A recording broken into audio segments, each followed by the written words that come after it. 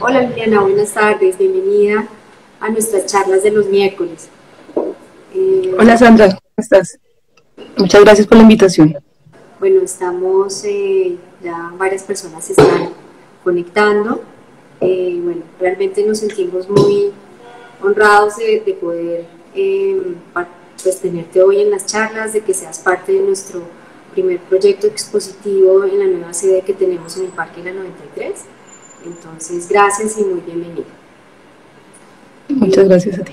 Entonces, mira, eh, la manera como organicé la entrevista me pareció increíble que a partir de tu trabajo de Quieto Pelo, que es este proyecto comunitario que realizas con comunidades afrodescendientes, eh, para pues, preservar toda la historia oral y todo lo que es el cuidado del cabello y el cuidado personal.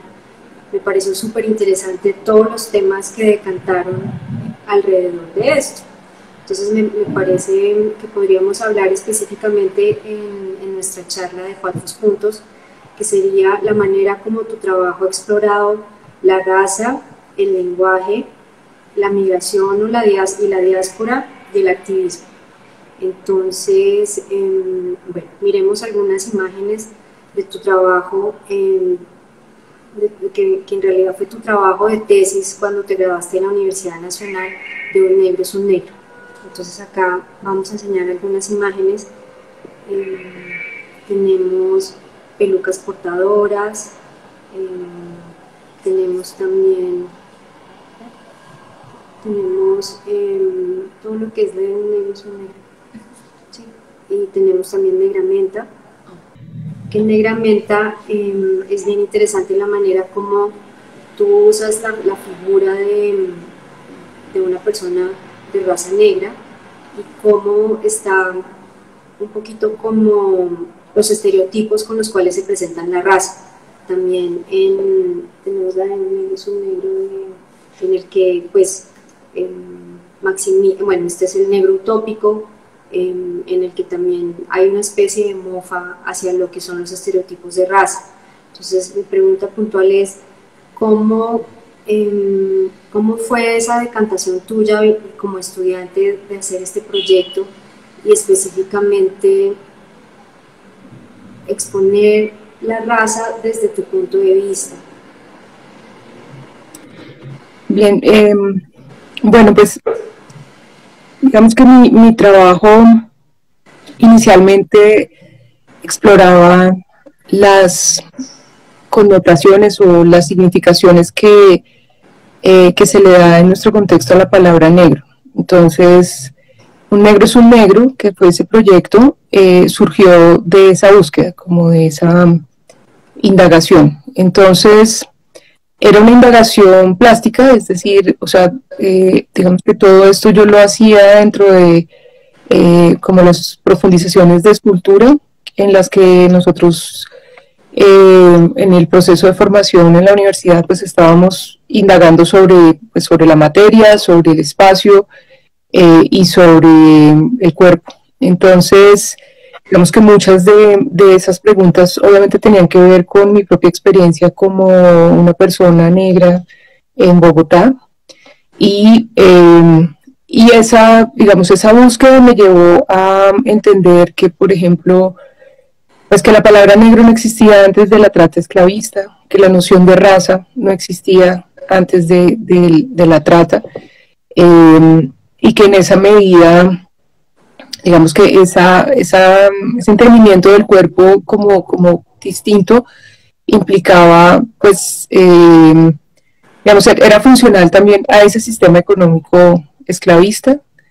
Eh, entonces, mucho de, lo, de la exploración de materiales y, digamos, plástica que ocurrió en ese momento eh, buscaba, digamos, eh, poder como acercarse de manera sensible a eso que era como hasta un cierto punto como abstracto, ¿no? O sea, como esa noción de, de, ser negro, eh, que por un lado para mí tenía como un contenido que era de los afectos, o sea, de mi familia, de pues cómo me educaron y, y cómo mi, mi familia paterna entiende eso, pero por otro lado también estaba, eh, digamos, eh, eso otro que pesa sobre los cuerpos negros, que es ajeno, ¿no? que son como, eh, sí, digamos, significaciones y, y, cargas impuestas sobre los cuerpos negros, que uno los vive en, en la cotidianidad. O sea,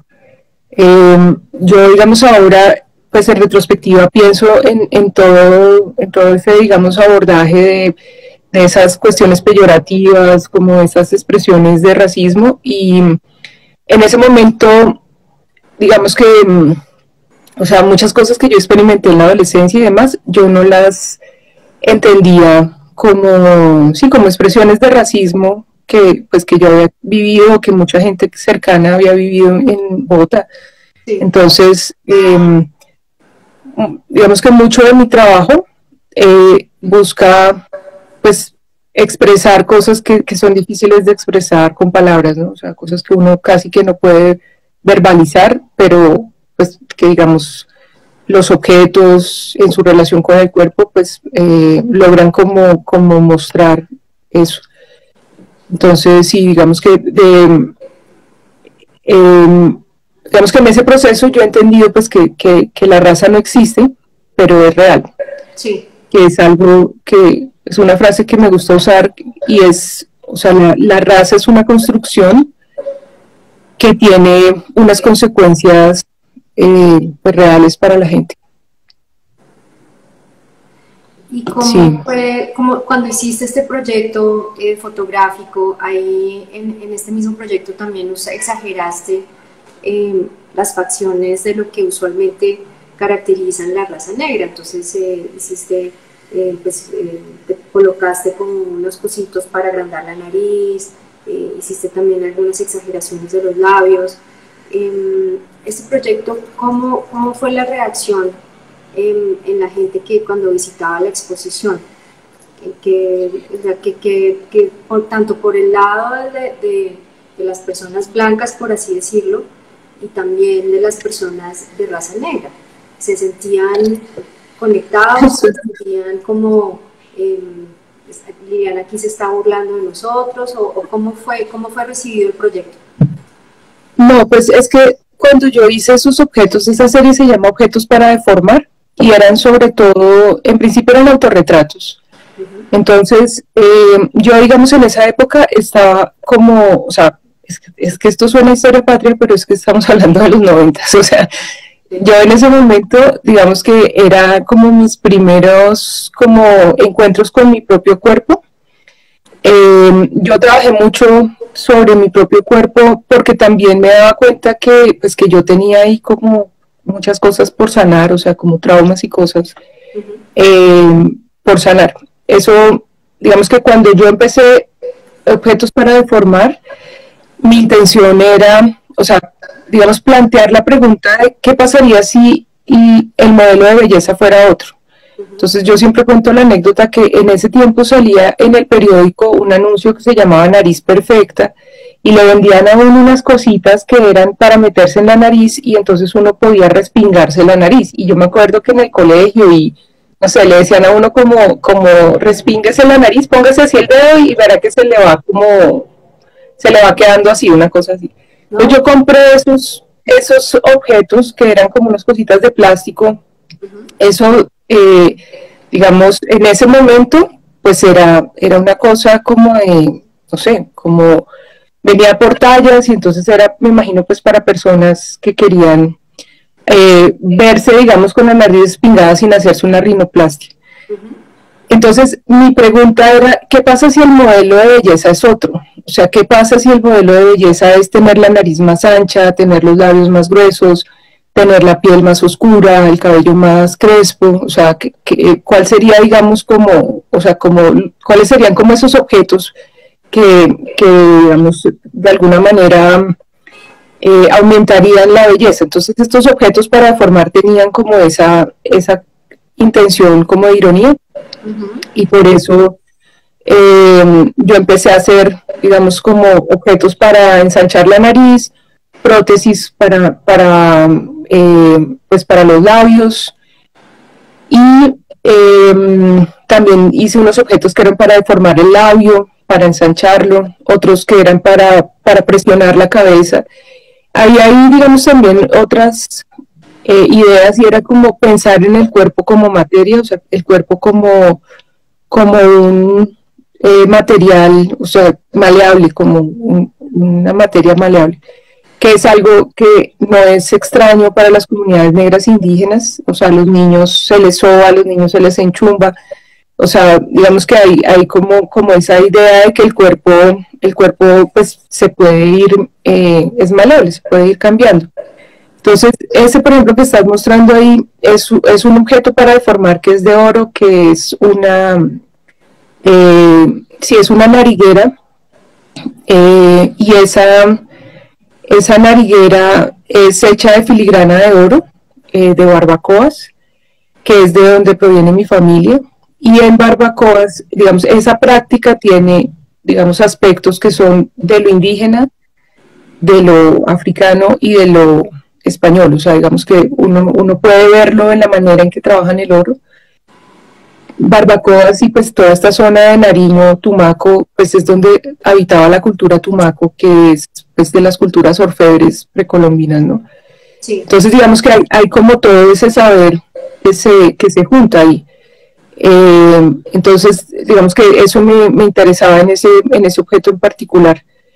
Y, y, pues son, son objetos para embellecer, digamos que no eran una burla, era, tenían un contenido irónico, pero no eran una burla, o sea, eran por el contrario, eh, pensando en la idea de embellecer. ¿Y cómo, ¿Y cómo fue entonces la reacción del público, o sea, la, la relación? Como, o sea, ¿qué, ¿qué causó ¿sabes? Pues, pues digamos que eh, como era mi propio cuerpo y, eran, digamos, como si objetos que parecían dolorosos, la gente, la gente veía como, o sea, la gente yo creo que alcanzaba a sentir la ironía, pero también les manifestaba como dolor, ¿no? Entonces, eh, sí, yo creo que eh, todo ese periodo, digamos, todo ese trabajo de esa época tenía esos dos lados que era por un lado como, como querer, digamos, abrazar algo que es doloroso, o sea, querer como asumir algo como, como bello a pesar de que es doloroso. Entonces eran como, eh, sí, como, como imágenes eh, que generaban como esa ambivalencia, tenían como esa lectura ambivalente.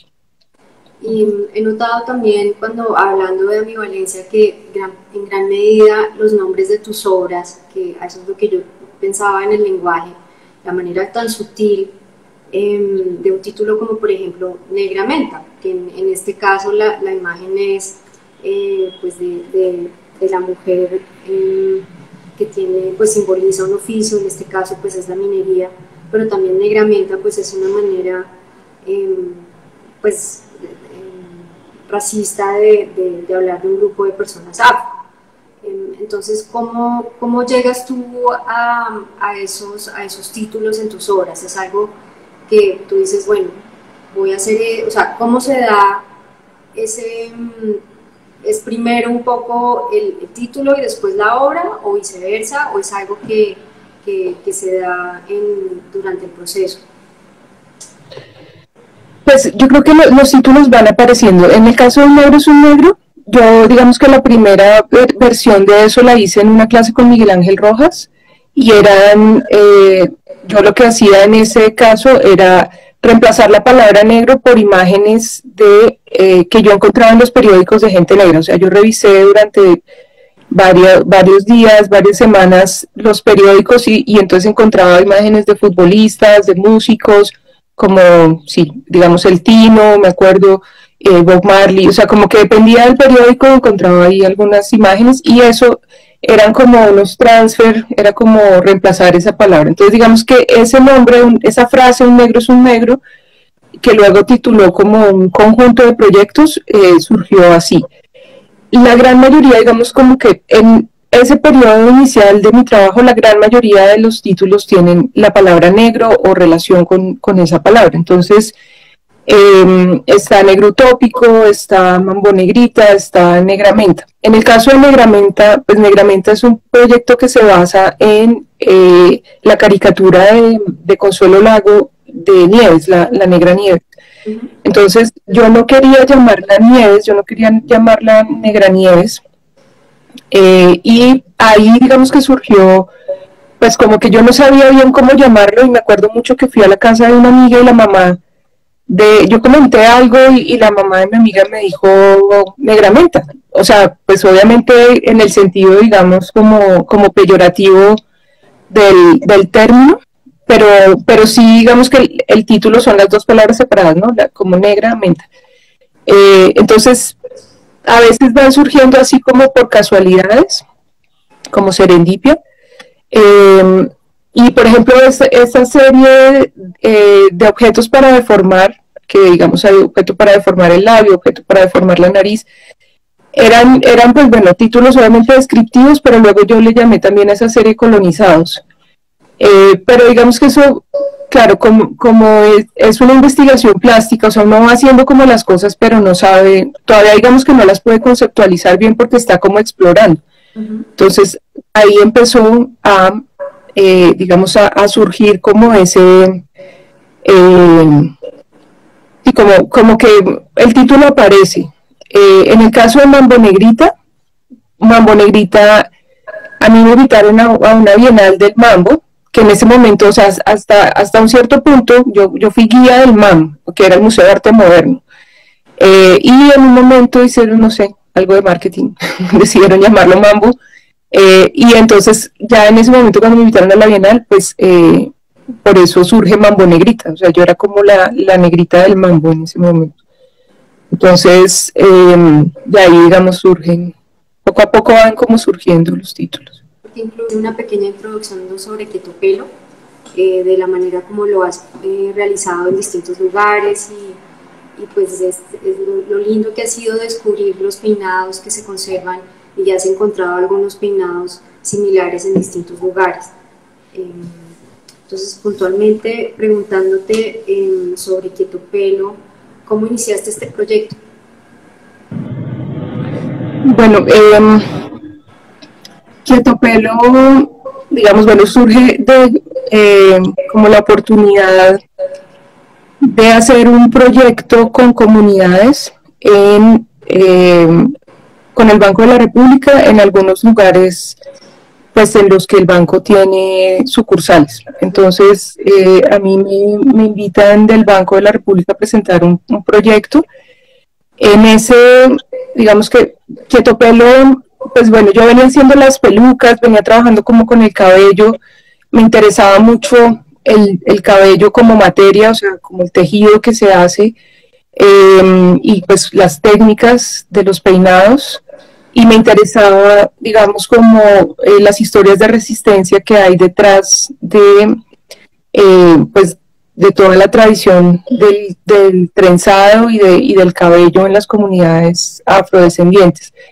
Entonces, eh, ahí, digamos, habían varios referentes. Estaba Oye Ikere, que es el fotógrafo nigeriano, que pues, hizo todas esas fotografías de peinados durante pues, como el proceso de los procesos de independencia de África, digamos como esa, esa intención de registrar la, la cultura y digamos esos procesos de colonización eh, pues, durante todas em, las luchas independentistas en estos países, eh, pero también en, en Bogotá había surgido la investigación de Lina Vargas, eh, más o menos hacia el año 2003. Yo empiezo Quieto Pelo, eh, digamos que el proyecto yo lo formulé en 2007 y empecé en 2008.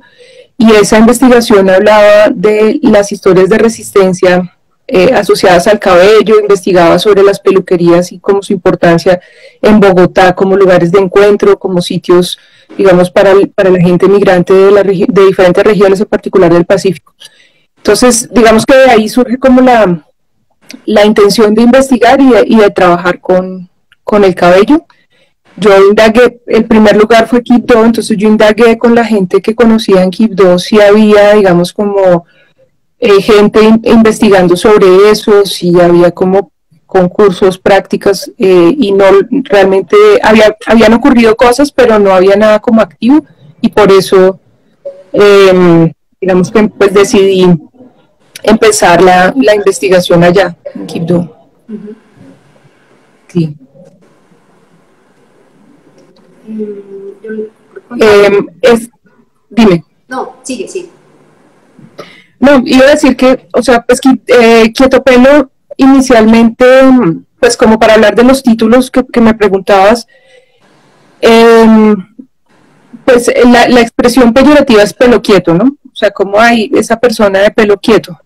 Em, pero digamos que pues yo lo que hice fue invertir como la palabra y, el proyecto, el nombre completo del proyecto, pues es como un proyecto de construcción colectiva sobre la tradición del peinado y el cuidado, que es algo que apareció posteriormente, el tema del cuidado em, en las comunidades afrodescendientes. Entonces, inicialmente yo empecé el proyecto en Quibdó, luego al año siguiente tuve la oportunidad de ir a Buenaventura y luego tuve la oportunidad de ir a San Andrés. Y ahí, digamos que eh, eran como, como tres lugares, digamos, de, pues de nuestra diáspora, de, nuestro, nuestra gente afro, eh, y eran, a la vez que eran muy similares, o sea, las técnicas básicamente son las mismas, también, digamos, había como, pues es una, es una tradición viva, o sea, em, digamos que hay, hay muchas cosas que, que uno siente que hay que, que hay que proteger, porque pues sí, se están perdiendo las historias, se, se, pierden los, los, saberes, no se les da la importancia suficiente, pero a la vez también es algo que, que, está ocurriendo, o sea, que todo el tiempo están trenzando. Entonces esas fueron las tres primeras versiones que fueron con el banco y luego yo tuve la oportunidad de hacerlo en, en Medellín y en La Habana, que fue como el primer lugar internacional, digamos. Eh, y luego ya eh, pude estar en Chicago cuando me fui a estudiar eh, y la versión, ah bueno, y estando en Chicago también viajé a, Brasil em, y la versión más reciente que fue en Tumaco con el apoyo de la Universidad Nacional.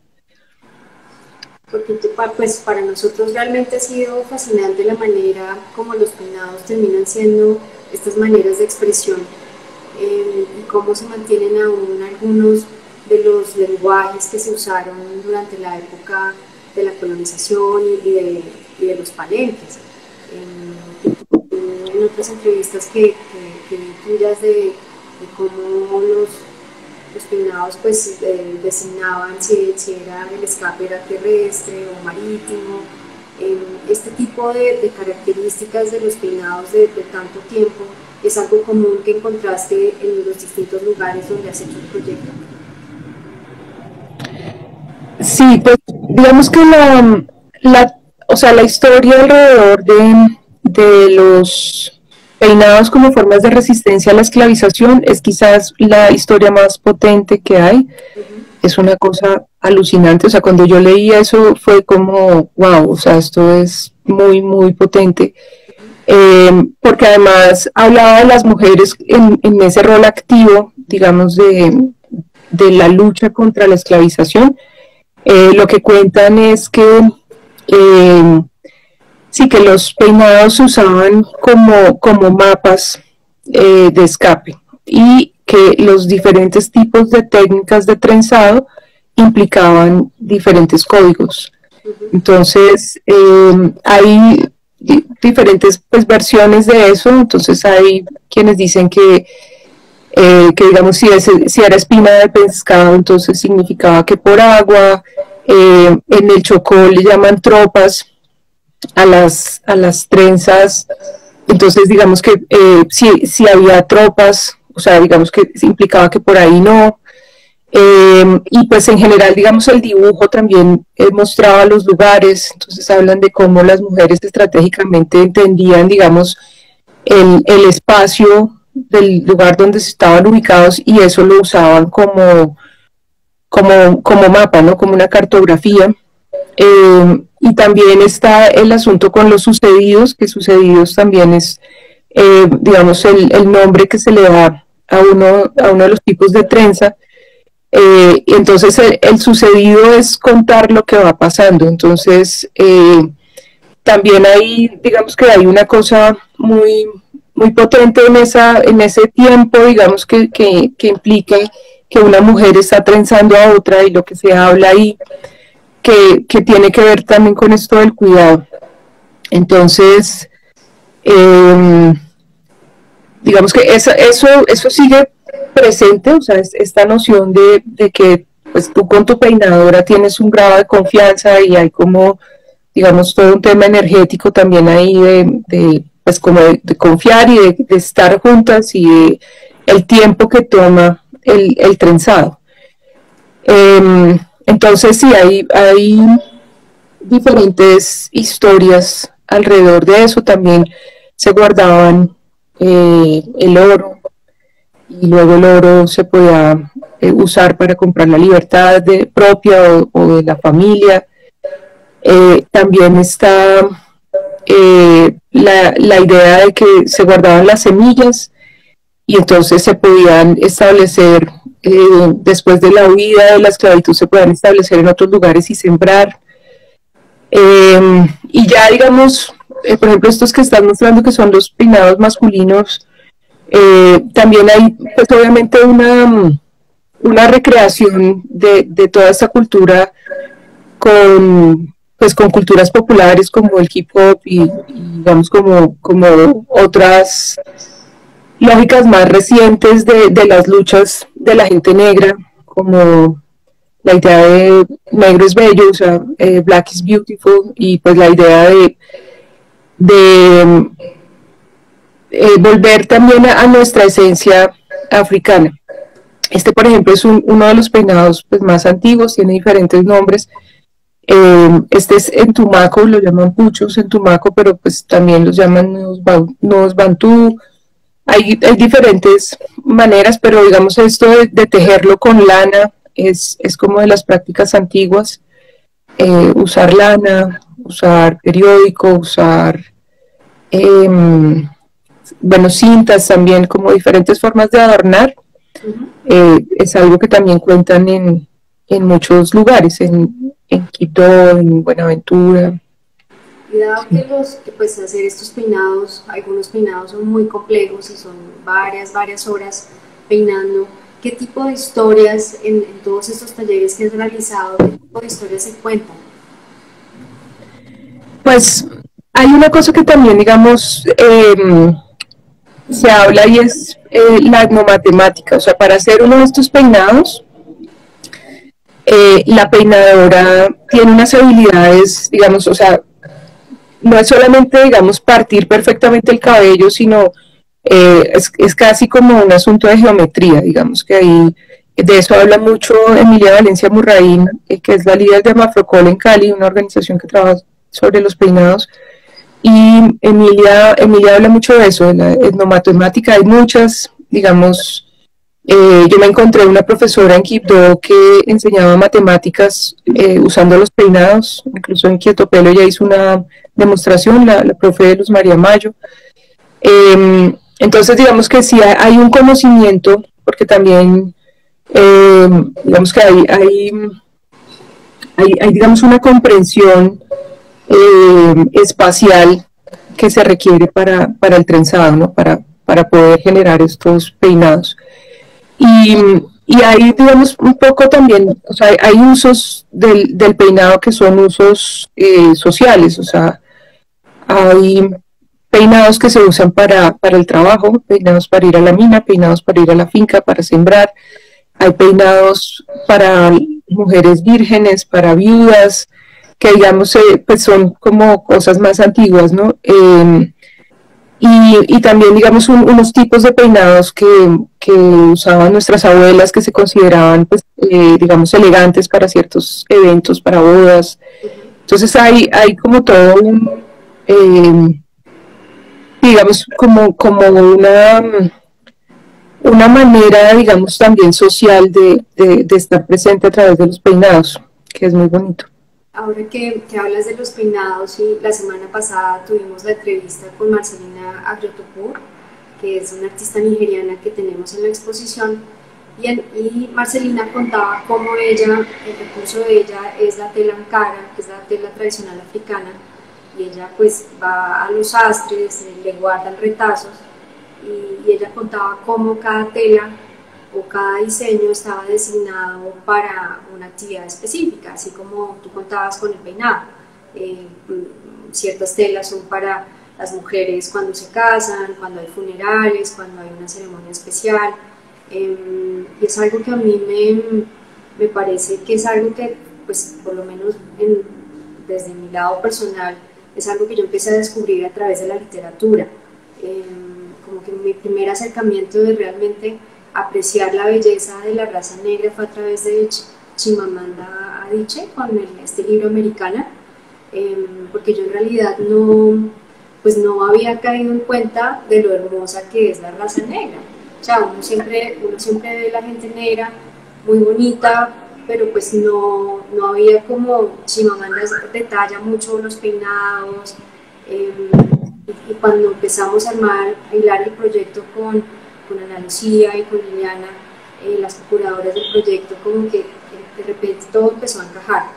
Y, realmente me, pareció, me ha parecido fantástica la manera como hoy en día hay toda una expresión y emancipación eh, de las expresiones afro en el mundo, tanto que, que, hoy en día pues en el mundo del arte hay mucha demanda de lo que están haciendo los artistas afro en general. hace unos tres años ya yo hago también tours de arte a extranjeros y una de las señoras que yo le hice un tour, una coleccionista de Boston, me decía, Sandra, ¿y dónde están los artistas afro en Colombia? ¿Dónde están las expresiones afro en Colombia? Y yo me quedé así como, pues yo sé de trabajo de Liliana ninguno, pero me dio, me sentí, la verdad me sentí avergonzada de no, de como no poder eh, más.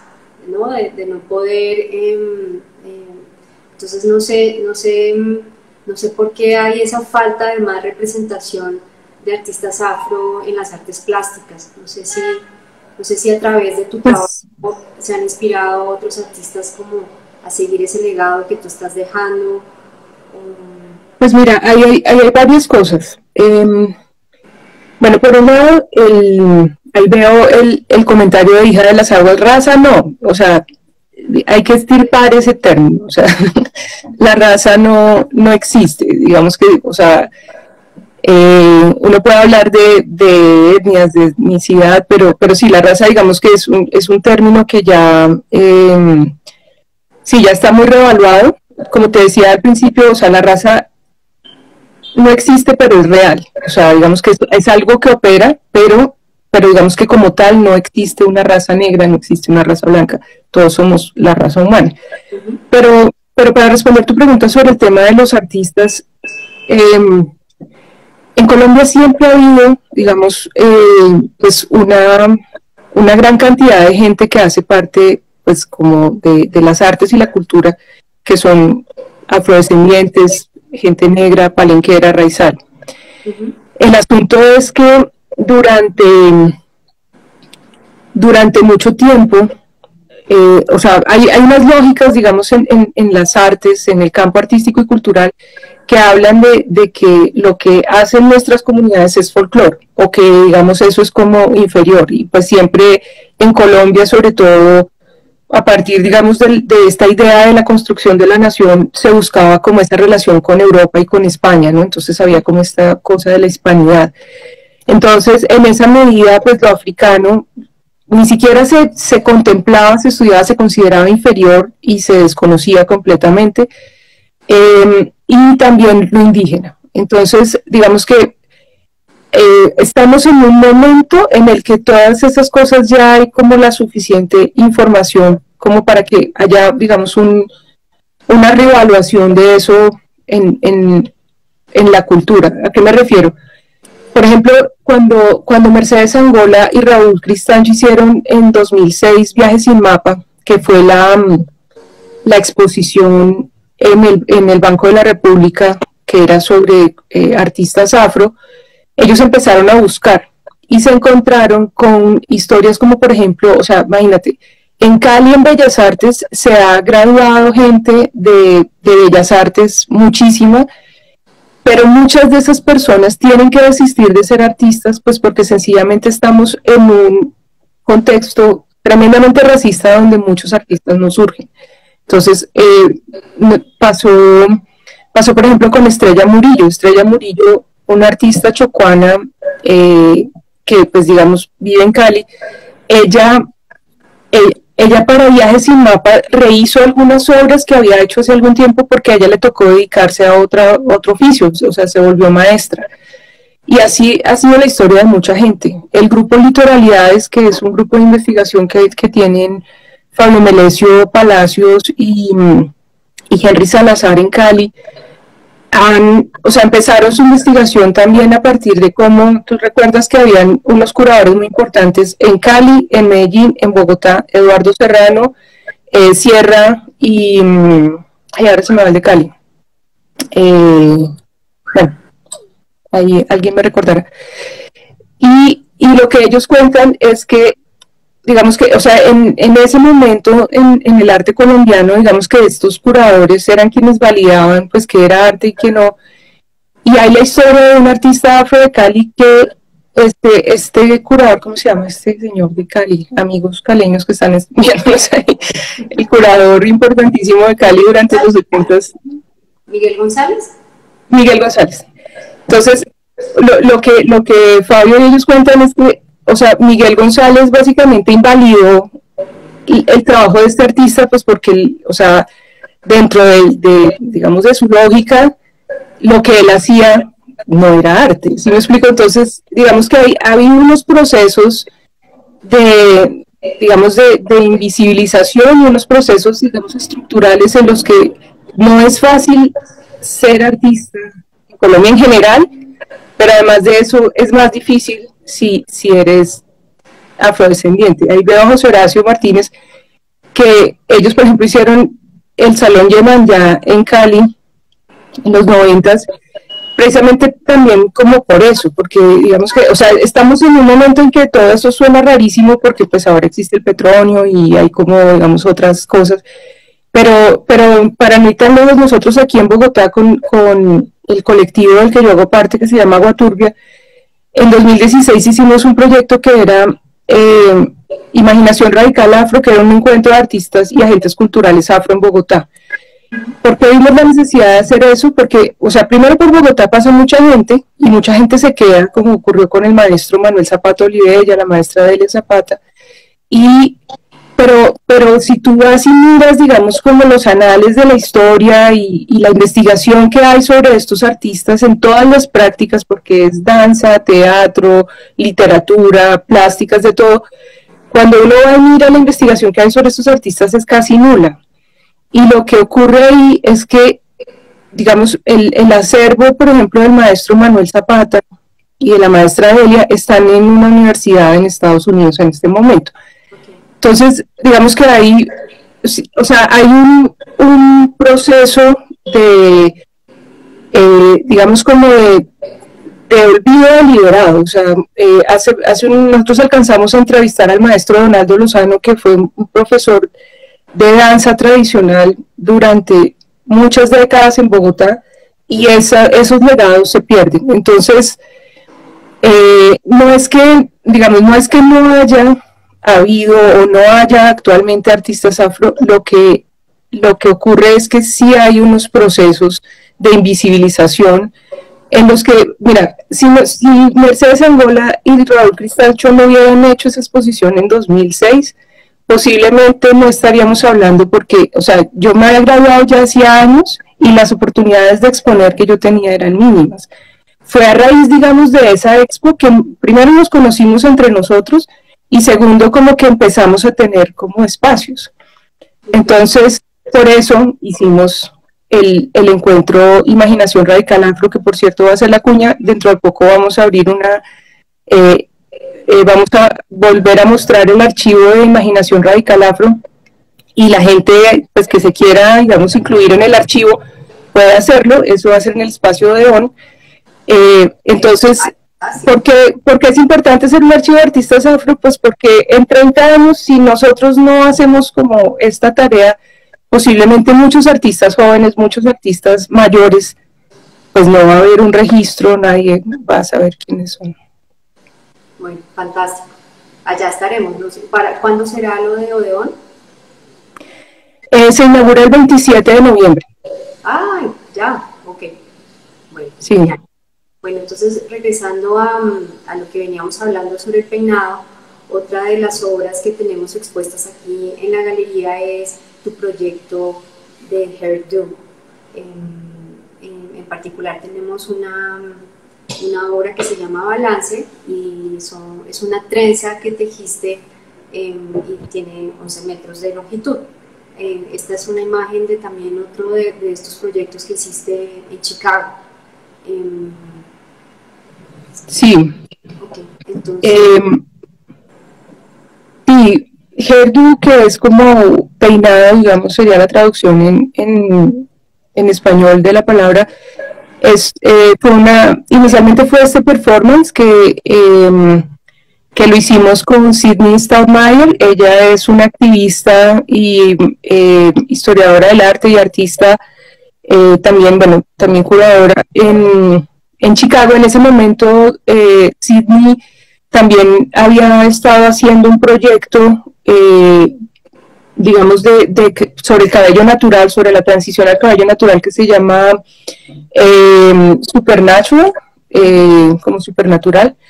Y en, ese, digamos que hay, todo un movimiento alrededor del tema del cuidado y de volver a hacer la transición hacia lo natural, eso sobre todo para mujeres eh, que han sido, digamos, durante muchos años eh, personas que se han alisado o que desde niñas las alisaron. En, Estados Unidos uno encuentra casos de personas que nunca han sabido cuál era la textura natural de su cabello porque desde los cuatro años las empezaron a alisar. Entonces, em, en el caso de, de Sidney, ella eh, también, digamos, usaban extensiones y eso pues termina deteriorando el folículo, bueno, se, se daña el, el, cabello. Entonces ella empezó este proyecto supernatural en la universidad y generó como una comunidad, eso en Colombia, o sea, esto está ocurriendo en todos lados, es un proceso de colonización capilar, lo llaman algunas personas, eh, que implica, digamos, pues por un lado, aceptar pues aceptarte como eres, aceptar el cuerpo que tienes, la belleza natural que tienes. Y lo natural, digamos, en términos no solo de no usar químicos, no, no usar eh, productos que pueden ser nocivos, que no están pensados para el cabello de la gente negra o pues para el cabello de la gente afrodescendiente, sino pues que son, que, que tienen además todo tipo de, de productos derivados del petróleo y demás pero además lo natural también en términos de, cuidado eh, propio, ¿no? O sea, como comer saludable. Bueno, digamos que en el caso de Sydney esto implicaba muchas cosas. Entonces, eh, nosotros nos aliamos en ese momento con ella, también con, con Fátima eh, Traoré, que es otra, una peinadora de Mali, que yo conocí en Chicago y con quien trabajé, que era la, la presidencia, la presidenta de la Asociación de Em, eh, trenzadoras, eh, Hair Braiders eh, Illinois Association, la Asociación de Trenzadoras de Illinois, que reunía a mujeres africanas y mujeres afroamericanas. Ellas hicieron pues toda una lucha también para pues para lograr trabajar con esta tradición sin tener que sacar como una licencia y demás. Entonces que el, digamos el tema del, del cuidado es, es muy amplio. En Colombia yo también desde Quieto Pelo y muchas eh, amigas de las organizaciones que trabajan con este tema, eh, hemos abordado la etnobotánica, que es como el conocimiento ancestral de las plantas y del cuidado. Entonces, eh, hay un montón de, de, sí, de, de, plantas que, digamos, hacen parte de la cotidianidad del Pacífico, del Atlántico, y, que las personas usaban antes de que ahora todos nos volvieran pues como adictos al champú y al rinse y a todas esas cosas. Entonces, eh, ese conocimiento es poder, ese conocimiento empodera a las mujeres porque primero no necesitas plata para cuidarte, no necesitas, o sea, con una penca de sábila y un poquito de guásimo, pues puedes cuidar tu cabello. Y, digamos que también eh, nos tienen, pues, o sea, en las comunidades a la gente la, pues la han empobrecido también por eso, ¿no? Porque hay como una dependencia de unos productos que llegan y que son de grandes multinacionales entonces, em, digamos, esta noción de cuidado tiene que ver con eso. Entonces, el, performance que hicimos con, con Sydney eh, lo hicimos en una zona de Chicago que es el eh, Martin Luther King Drive, que es como en, en, la zona sur de Chicago, que es donde vive, o históricamente ha vivido la comunidad negra, lo que llamaban el Black Belt, como el cinturón negro, que era pues una zona de digamos, donde, donde habían empujado a la gente negra a vivir históricamente, cerca como a las carrileras del tren, pero que también en el, Mar, en el Martin Luther King Drive vivían las personas afroamericanas con más recursos eh, en ese momento. Eh, y un poco el performance hablaba también de, de esas em, relaciones de entorracismo entre los que ya, digamos, estaban como ciudadanos en Chicago llegaban del sur en la gran migración. Entonces había como, digamos, una, eh, si era, era un performance de larga duración, eh, duramos casi tres horas con Sidney, Sidney me, pues me tejía una trenza y pues me iba poniendo cabello que estaba colgado como en, la cuerda. Eh, y ahí empiezan a surgir como estas trenzas largas que de alguna manera también dan la idea del tiempo que, toma el, digamos, el, trenzado, ¿no? O sea, el tiempo de, como de relación entre, entre esas dos mujeres. Es realmente fascinante. Em, y también, como hablábamos antes, la manera también de, de, cómo se mantienen a través del peinado tradiciones de peinados de hace tanto tiempo y lo que tú contabas ahorita de la manera de de cómo em, los esclavizados buscaban pues, las rutas de, escape. Entonces, otro tema importante que he visto en tu obra es el tema de la migración y del activismo. Particularmente eh, lo que presentaste en el 45 Salón Nacional de Artistas por la defensa del territorio de Buenaventura, archivo y monumento de don Temístocles Machado. Em, la verdad que pues yo em, analizando toda tu obra pues realmente me ha parecido supremamente poderoso este trabajo tuyo porque es ya acercarte al arte em, y acercar la audiencia al arte desde otro lugar, ¿no? desde lo que es el conflicto en Colombia, em, el racismo estructural del que tú hablas. ¿Cómo llegaste a plantear este proyecto? Pues mira, realmente es una historia muy triste. O sea, em, yo, venía, yo venía trabajando en Buenaventura, eh, un proyecto que se llama Tiempo del Pacífico, que es un proyecto sobre, digamos, la manera en que eh, la expansión, digamos, económica portuaria en el Pacífico, pues viene afectando a, esas comunidades que están en, toda, digamos, en toda la costa, en toda América. Entonces, eh, inicialmente yo empecé a investigar sobre el movimiento social afrocolombiano, sobre los liderazgos afro, eh, y, y, bueno, lo primero era como una relación posible entre los panteras negras de Estados Unidos y, y los líderes y los liderazgos afro en, Colombia. Eso fue, digamos, como, como parte de la investigación, pero pero también era entender cómo, eh, digamos, la expansión portuaria y la violencia en lugares como Buenaventura están relacionados, o sea, la violencia es funcional a unos proyectos de, eh, digamos, de inversión macroeconómicos que son, por un lado, orquestados por el Estado, pero también que implican capitales eh, e inversiones internacionales inmensas. Entonces, eh, la comunidad en Buenaventura sabe que, esa violencia no, no, es gratuita y que por el contrario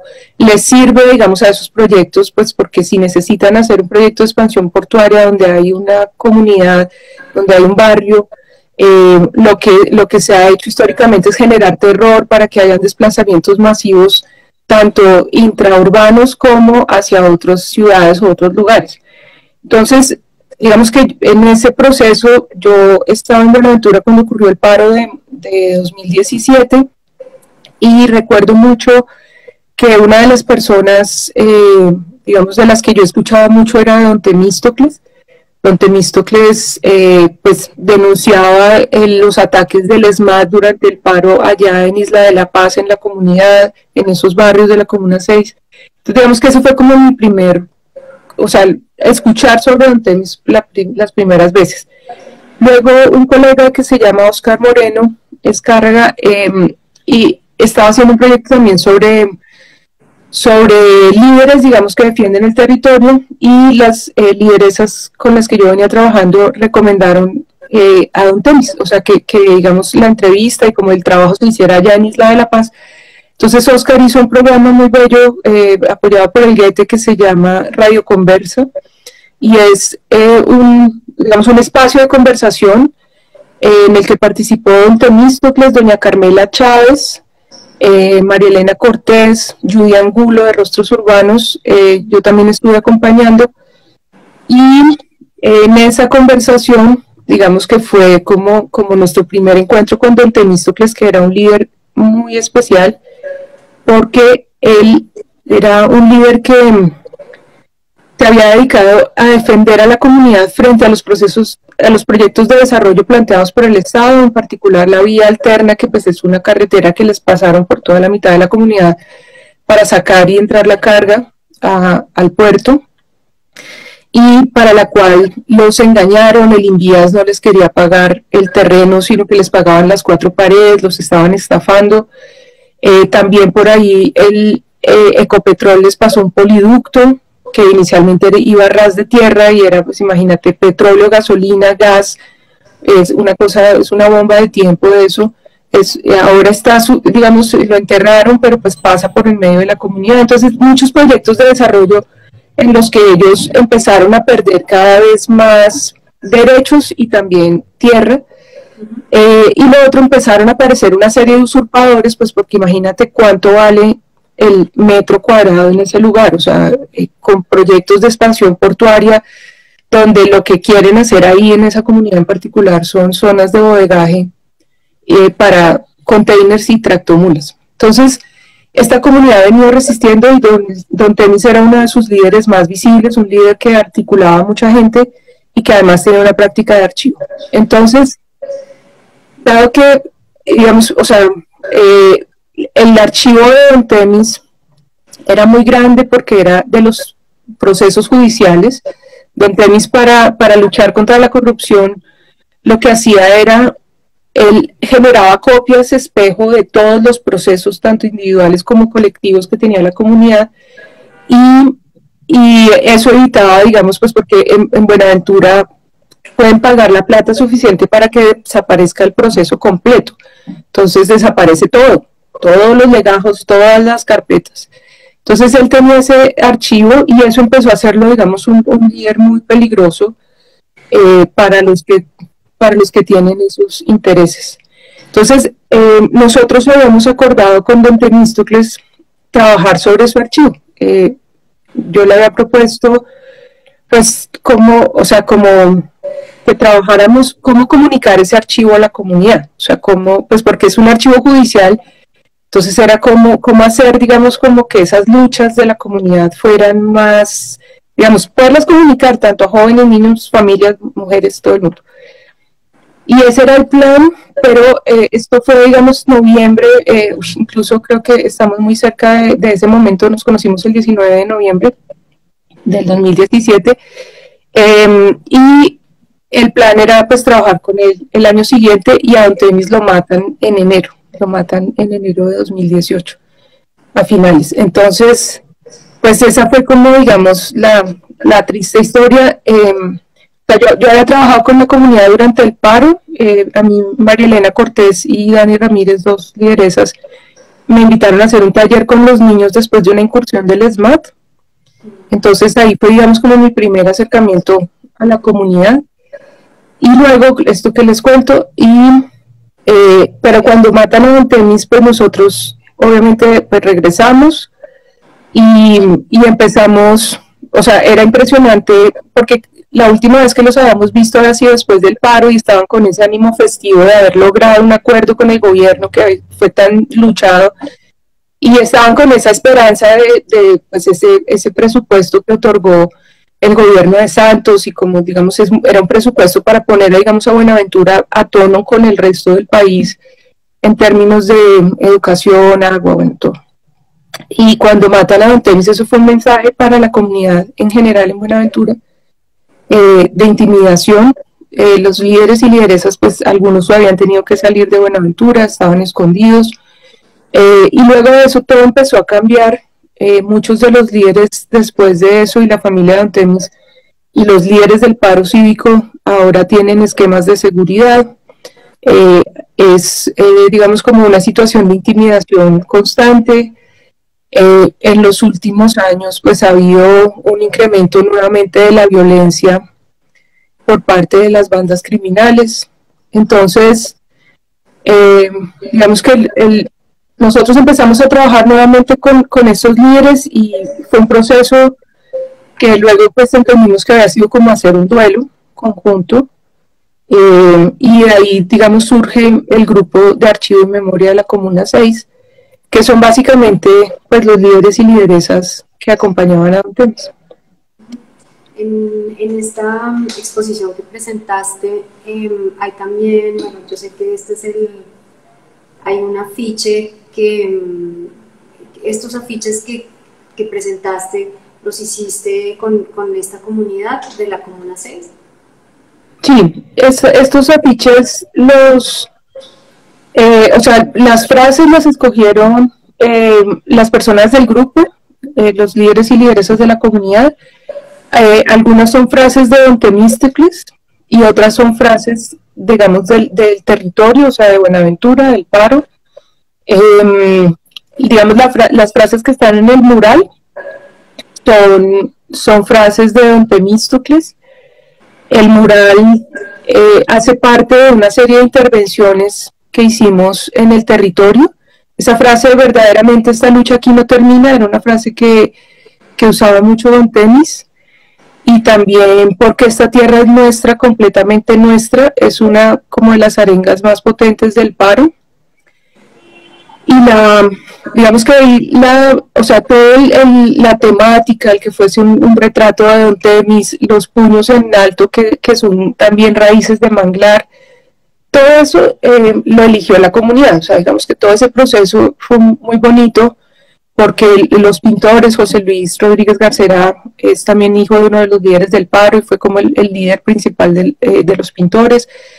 Eh, digamos que todo eso pues se, se acordó con la comunidad y ahí digamos que lo, esas intervenciones en el territorio, ellos querían humanizar la vida. Entonces, porque claro, por esta carretera pasan diariamente, se estima aproximadamente 3.000 tractomulas entrando y saliendo con carga. Em, y, y, pues pasan por la comunidad y las casas apenas cimbronean, ¿no? Entonces, ellos lo que querían era humanizar la vía es decir, que, que, los conductores, que la gente que pasa por la vía sepa que ahí hay una comunidad. Entonces, esa ha sido una de las estrategias. En este momento el grupo tiene otro, otro mural pendiente que está avanzando, solo que eh, ha sido muy complejo porque en el lugar donde se está haciendo el mural ha habido, digamos, eh, ha, habido unos asesinatos selectivos, han, dejado los cuerpos justo ahí, en donde se está haciendo el mural. Entonces, es, es, digamos, como el tipo de situaciones con las que ellos conviven allá y que, y pues que, o sea, constantemente están en riesgo y que además de eso, pues hacen muy, muy difícil, digamos, el, el trabajo comunitario. Y ahora, ¿cuál, cuál sería entonces el siguiente paso en el proyecto? Pues ellos, bueno, hemos, hemos tenido, digamos, unos aliados, unas personas muy, muy especiales que han ayudado donando recursos, entonces ellos en este momento con esos recursos tienen un proyecto productivo, porque ellos repiten una frase de Antemis que él decía que un, pueblo con hambre no resiste, o sea, en la medida en que estén en completo empobrecimiento y, sin maneras de subsistir, pues la gente termina yéndose. Entonces, eh, ellos en este tienen un proyecto muy bonito eh, que diseñaron que es de cría de pollos, que lo vienen liderando eh, algunos de los líderes de la comunidad y participan en este momento, creo que van en como en 20 familias de la comunidad que tienen sus calponcitos y están criando sus pollos para, para luego venderlos y pues para la alimentación también. Y y tienen un club deportivo y cultural que se llama Estrellas del Mañana Temístocles Machado, que es un proyecto muy bonito porque mm, es un proyecto donde es, bueno, es escuela de fútbol, eh, ahí, pues están categorías sub 10, sub 13, sub 15, eh, y hay pues como un semillero de futbolistas, eh, hay equipos femeninos también, y hay dentro del proyecto también hacen, bueno, danzas, eh, música, proyectos medioambientales, también, eh, digamos, de empoderamiento para las mujeres. Es muy bello lo que hacen todos ellos. Entonces es, es increíble cómo iniciamos nuestra charla de la manera como hablabas de raza afro y cómo se ha transformado tu trabajo hacia el activismo y yo diría hacia lo que es hacer arte comunitario y generar una especie de empatía hacia los que pues, estamos tan distantes de lo que pasa en, pues, en Buenaventura y, realmente pues muy admirable todo tu trabajo. Vamos entonces a, que, si tienes algo con lo que te gustaría cerrar la entrevista antes de que sigamos con las preguntas. Sí, yo creo que pues digamos con esto del activismo, o sea, hay cosas que uno siente que hay que, que toca hacer, o sea, realmente por ejemplo, esto que, que hicimos con Aguaturbia del encuentro de artistas afro, o sea, eh, yo creo que pues ahí tenemos que propiciar como que pasen cosas o, como denunciar cosas que no pasan. Entonces, eh, digamos que eso ha sido un poco como la, la intención. En el caso de, Buenaventura, eh, pues es, es también como, para mí es un privilegio realmente como acompañar a la comunidad y pues hasta donde pueda lo haré. Fantástico. Si de alguna manera pues podamos apoyar ese proyecto, eh, después tú me dejas saber y yo lo puedo publicar, eh, porque sí sería pues muy, muy especial. Yo siento que el arte mueve, transforma y, sería muy especial ser parte de, todo lo que estás haciendo. Claro que sí. Bueno, vamos a, vamos a pasar a, las preguntas. Eh, tenemos una pregunta de Daniela Romero. Eh, ¿Cuál crees que es el papel del arte en los movimientos sociales? Pues yo creo que, eh, digamos que hay, un poco la, la pregunta es para quién hacemos arte, ¿no? O sea, en ese sentido, digamos que pues no sé, en las escuelas, en las escuelas de arte como que mucha gente sale pensando como que sí, que uno va a ingresar como al mercado del arte o pero yo creo que depende mucho de, uno también donde, pues donde se ubica.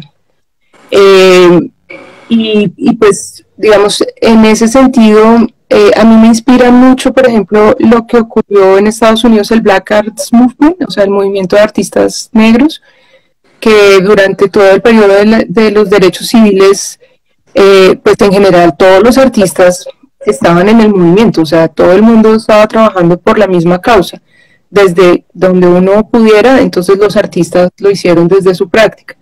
Entonces, eh, a mí me ha inspirado mucho, eh, digamos, eh, Africobra, que fue un, colectivo en Chicago, y en general, digamos, todos los artistas de, o sea, creo que eh, incluso lo que, lo que ocurrió aquí durante el paro, o sea, como, como, como que finalmente la práctica artística eh, a quién va dirigida. Entonces, África ahora tiene una cosa muy bella y era que ellos, por ejemplo, hacían obras pues ellos inicialmente hacían las obras en pintura y luego las hacían en grabado para que la gente pudiera acceder a la obra. Entonces, para que todo el mundo pudiera tener una obra en su casa, entonces era pues obviamente entre vender una pintura y vender un grabado que podían venderlo a 10 dólares y masificar, digamos, que el mensaje le llegara a mucha gente, entonces ellos tenían esas estrategias.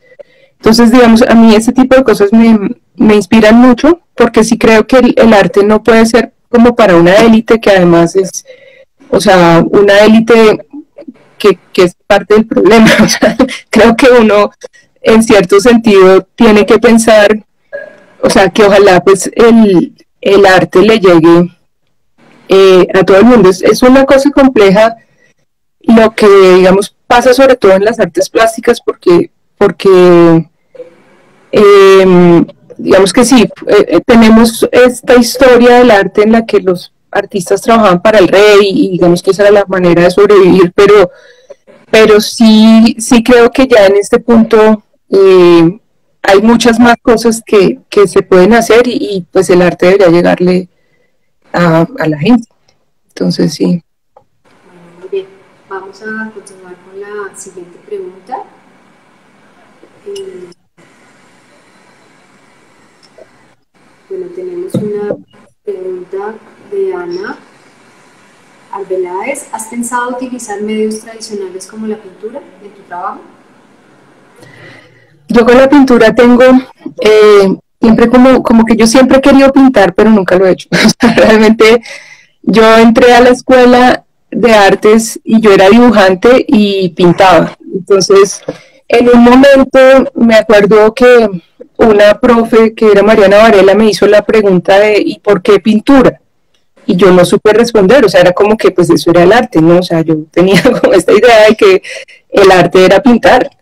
Entonces, eh, desde ese momento yo empecé a explorar otras cosas y por eso terminé haciendo más, me, fui más como hacia la escultura, pero pues la, idea de esta escultura expandida, que era lo que se hablaba en ese momento, y, y también como el trabajo con el cuerpo y la fotografía, o sea, como que todo me fue llevando hacia otros lados, pero yo siempre tengo esta nostalgia y siempre quiero como, no sé, como sentarme pintar y, y admiro un montón de pintores y es como de las cosas que me gustan.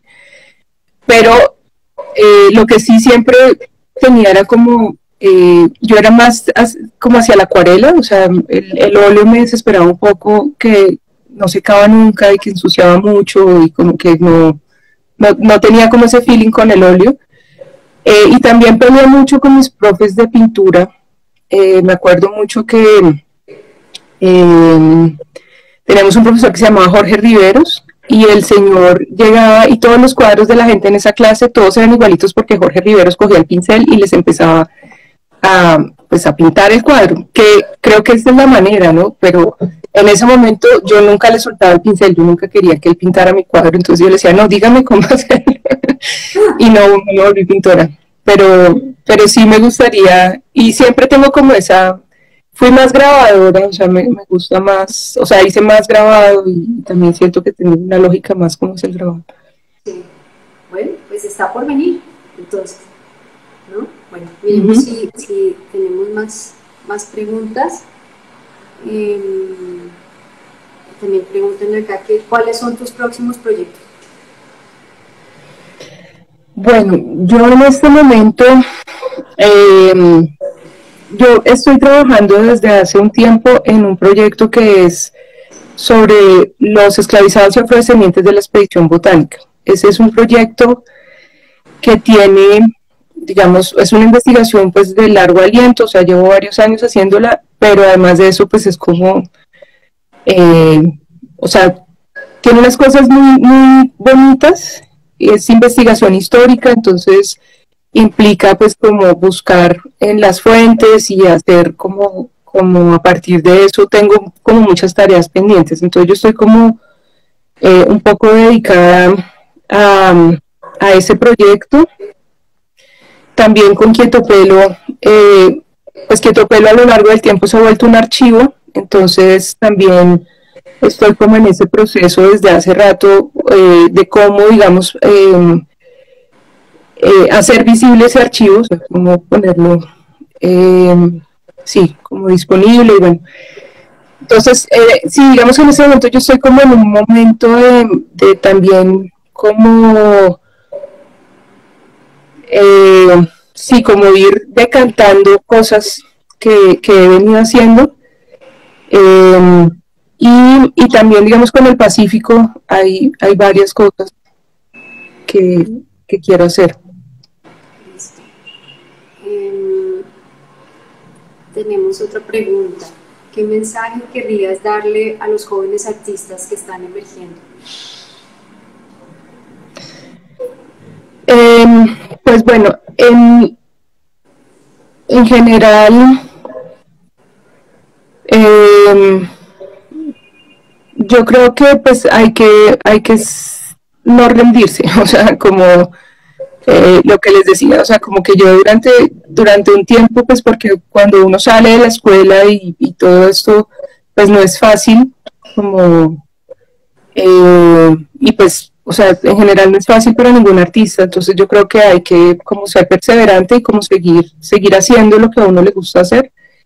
Eh, así, digamos, pues parezca que no hay donde mostrar y donde como hacer cosas también creo que es importante que uno, creo que nosotros, digamos, nuestra generación salimos muy como, como esperando que, no sé, como que en un momento en el que no habían espacios, nosotros no sabíamos tampoco cómo generarlos. Creo que es importante buscar uno generarse sus propios espacios. O sea, creo que la, la auto, eh, autosuficiencia autodeterminación, autosostenibilidad, o sea, todo eso es súper clave, porque además, em, sí, o sea, es como, como que eh, posiblemente no hay, no hay un lugar específicamente para uno y pues hay que generar como esas posibilidades. Sí, bueno, y tenemos la, la última pregunta de Clau Amaya. Hay otros artistas vinculados a los proyectos del Pacífico en particular, músicos, escritores. Em, hay mucha gente trabajando. Eh, sí, hay, hay, digamos, bueno, hay un, un grupo, precisamente me los encontré por la calle, aquí en la séptima, eh, que son Sankofa Danza Afro. Ellos son de Medellín, son una compañía de danza alucinante. Ellos han venido haciendo eh, trabajo, digamos, de, danza y semilleros en el Pacífico.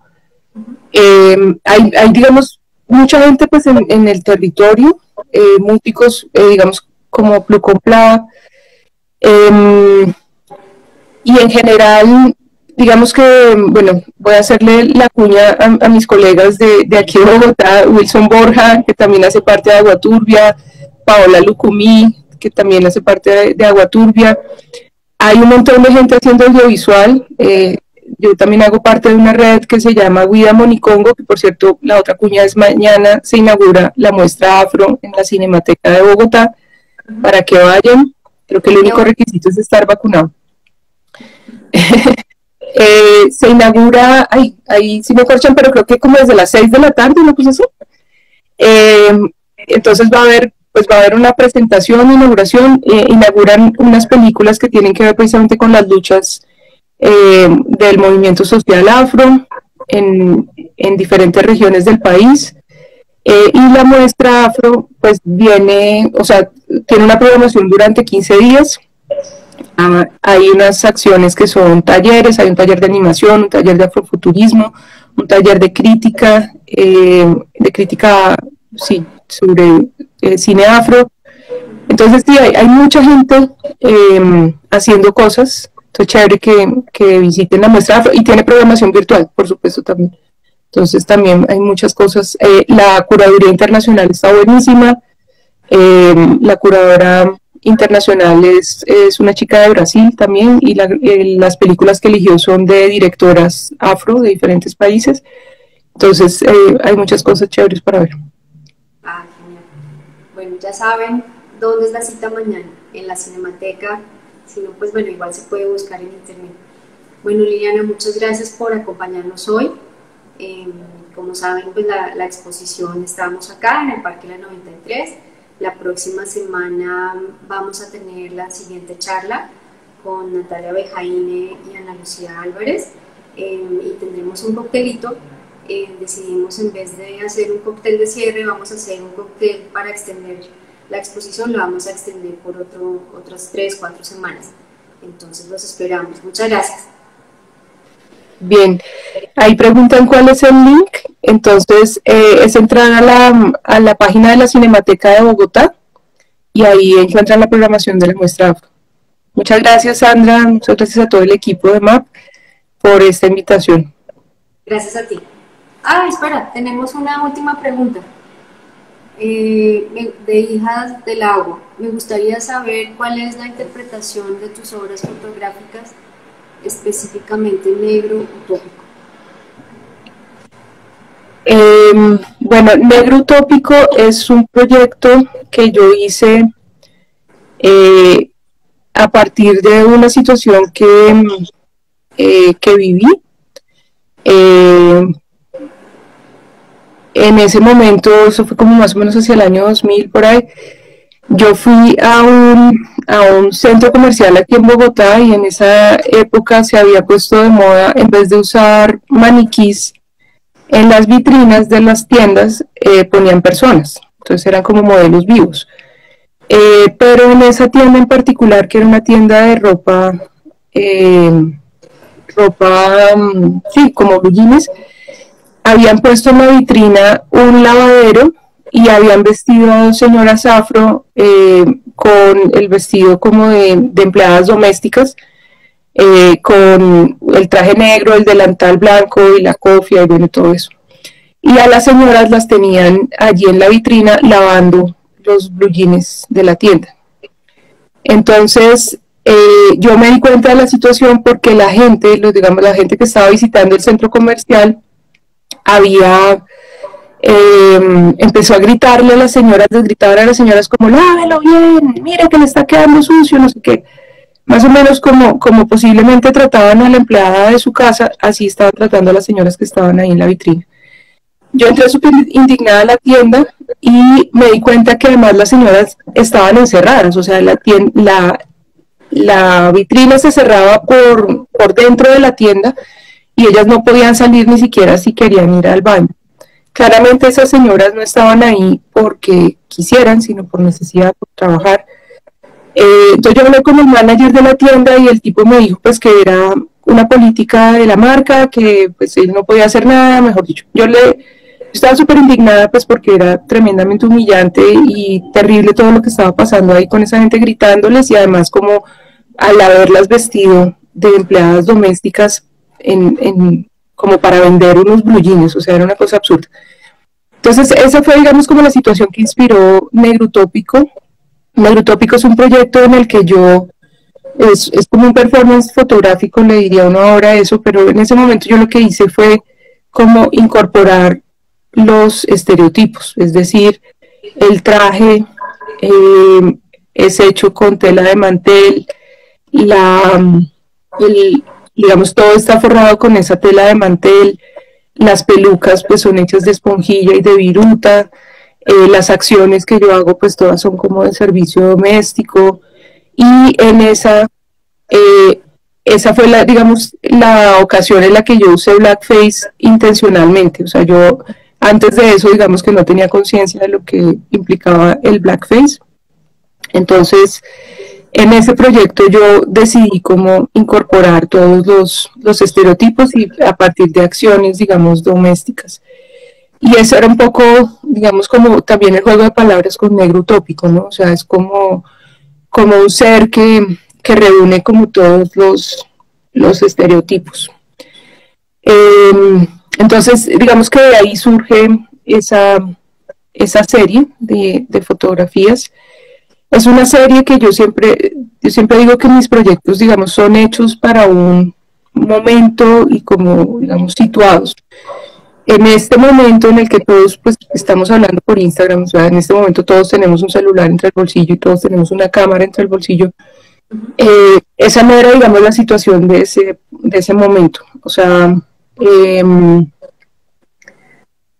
incluso estaba pensando, si, si, yo hubiera tenido una cámara en el, en, el, en el, bolsillo en ese momento para registrar y denunciar lo que le estaban haciendo a esas mujeres en esa vitrina, hubiera sido fantástico.